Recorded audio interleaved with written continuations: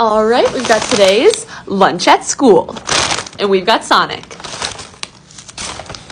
Yes, they gave me two ranches. I don't know what my hair is doing today, but it's not good. It's Wednesday, which means it's a Sonic day. And last time I got their burger, it was really good, so I got it again. Gotta take the tomatoes off. Doesn't she look beautiful? Cheers. One thing about me is I love a fast food burger. Tater tots with ranch, obviously, and a Dr. Pepper.